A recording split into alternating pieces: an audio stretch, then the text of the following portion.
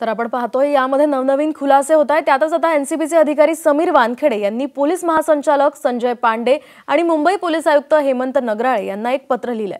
Drugs प्रकरणात आपल्या चुकीच्या आपल्याला चुकीच्या पद्धतीनं अडकवलं जात असल्याचा आरोप त्यांनी केलाय आणि त्याचबरोबर माझ्यावर कोणतीही कारवाई केली जाऊ नये अशी मागणी सुद्धा वानखेडेंनी केली आहे. आर्यन खान प्रकरण माझ्या वरिष्ठांकडे आहे असंही वानखेडेंनी या पत्रात म्हटलंय.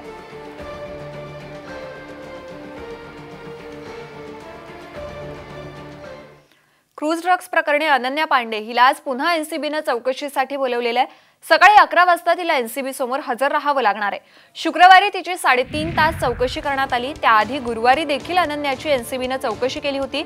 अनन्या पांडेची ड्रग्स प्रकरणी आर्यन खानसोबत झालेल्या चॅटच्या आधारावर चौकशी सुरू आहे. या चॅटमध्ये गांजाची व्यवस्था करण्याबाबत आर्यन बोलत होता असा एनसीबीनं आरोप केलेला आहे. मात्र अनन्यानं पहिल्याच चौकशीत हे आरोप फेटाळले होते.